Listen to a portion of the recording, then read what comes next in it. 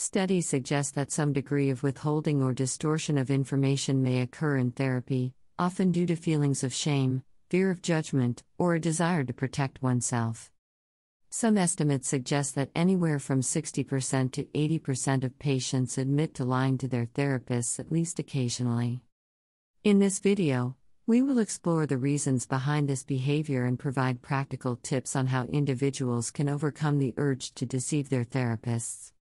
By shedding light on this topic, we aim to help viewers understand the importance of honesty in therapy and empower them to build a trusting relationship with their therapists.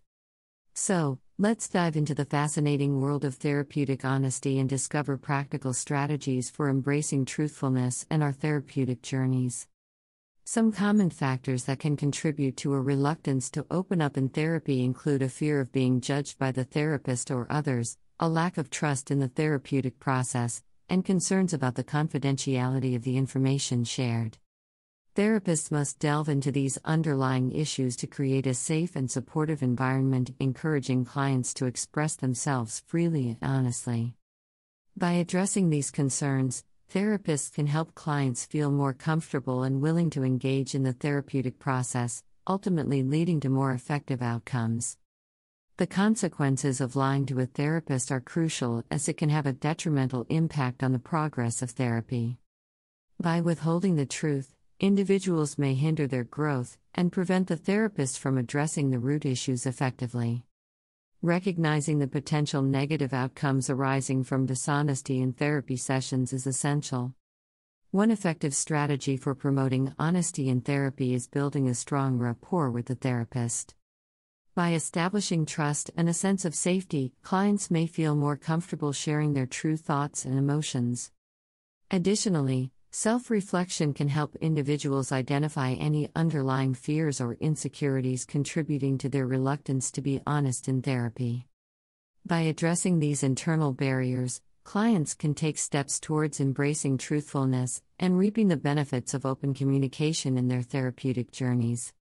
In therapy, honesty is crucial in facilitating personal growth and healing. Open communication, in particular, offers several benefits in this process. Firstly, being honest with oneself and the therapist allows for a deeper understanding of one's emotions, thoughts, and experiences. By openly expressing these inner experiences, individuals can gain insights into their own patterns of behavior and thought processes. This self awareness is essential for personal growth and can lead to positive changes in one's life. Secondly, honesty in therapy fosters a strong therapeutic alliance between the client and therapist. When clients feel safe and comfortable being open and honest, they are more likely to trust their therapist and engage fully in the therapeutic process. This trust and collaboration create a supportive environment for personal growth and healing. Furthermore, open communication in therapy encourages the exploration of difficult emotions and experiences.